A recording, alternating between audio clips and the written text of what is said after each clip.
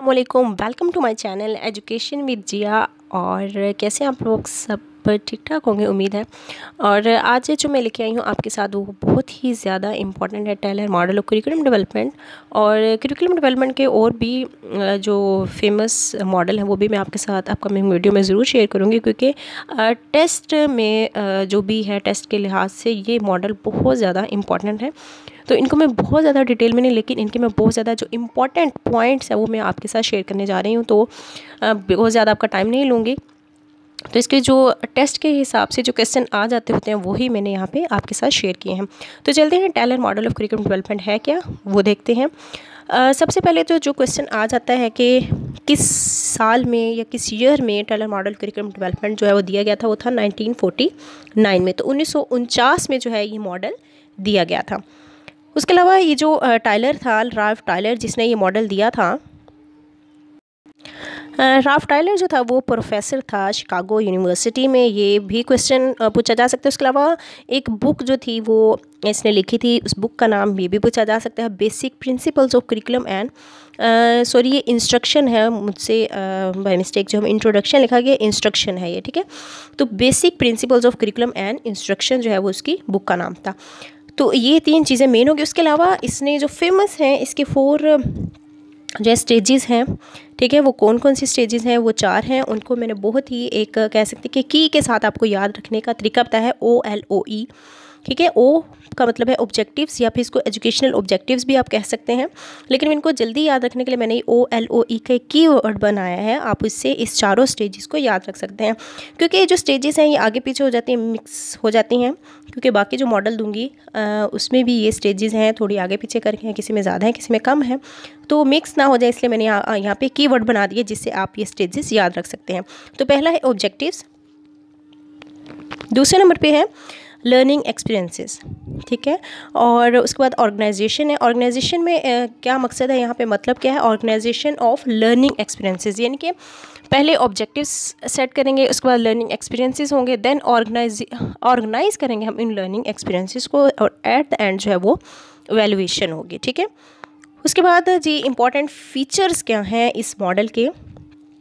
सबसे पहले तो ये मॉडल जो है वो है लीनियर अप्रोच लीनियर अप्रोच का मतलब क्या है कि इसमें ये जो मॉडल है, उसमें सारे जो स्टेप हैं, वो मतलब एक लाइन में चलते हैं। एक दूसरे के ऊपर डिपेंड नहीं करते, या फिर हम इसको कह सकते हैं कि जिस पॉइंट से शुरू होगा, फिर वो पॉइंट आगे ही चलता जाएगा।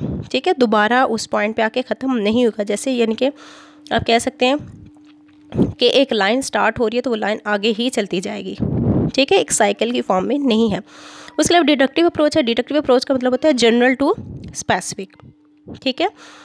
और उसके बाद पर्सपेक्टिव ये मॉडल है। पर्सपेक्टिव का मतलब क्या होता है? पर्सपेक्टिव का मतलब ये है कि ये जो रूल है टाइलर मॉडल का, जो ये सारा मॉडल है, उसमें कुछ रूल्स को फॉलो किया गया है इस मॉडल में, ठीक है? मतलब इसमें रूल्स क्या है? इसमें फोर स्टेजेस हैं, इसमें लीनियर अप्रोच है, ये डिडक्टिव मॉडल है, यानी कि हम इसको इंडक्टिव नहीं बना सकते, ठीक है?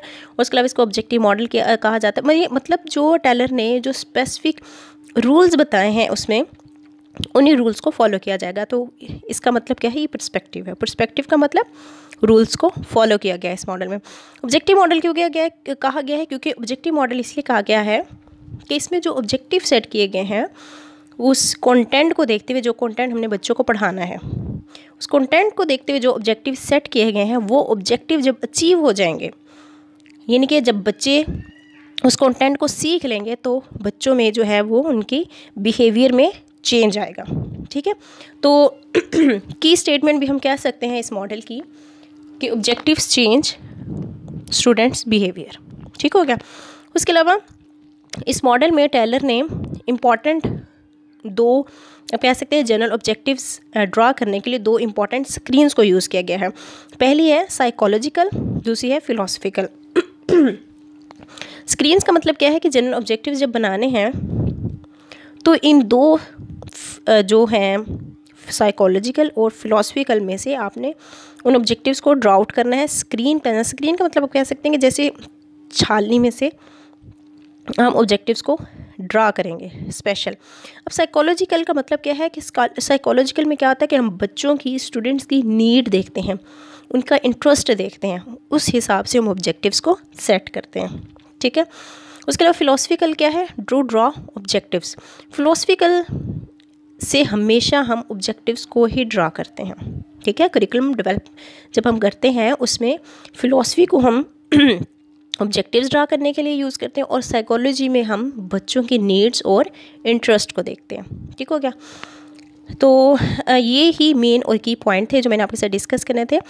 और इसमें मेरे ख्याल में कोई भी वैसा मुश्किल चीज़ नहीं है। हमने इसमें अब दे सकते हैं ईयर देखा है प्रोफेसर कहाँ थे, उनकी बुक का नाम क्या है और टाइलर आपने याद रखना इसका पूरा नाम राल्फ टाइलर था, ठीक है? और फोर स्टेजेस इसने दिए हैं जो मेन चीज़ आपने याद रखनी है और ये डिडक्टिव अप्रोच है लीनियर अप्रोच है परस्पेक्टिव है, और उसको ऑब्जेक्टिव मॉडल भी कहा जाता है और टू स्क्रीन्स दी थी, ठीक है?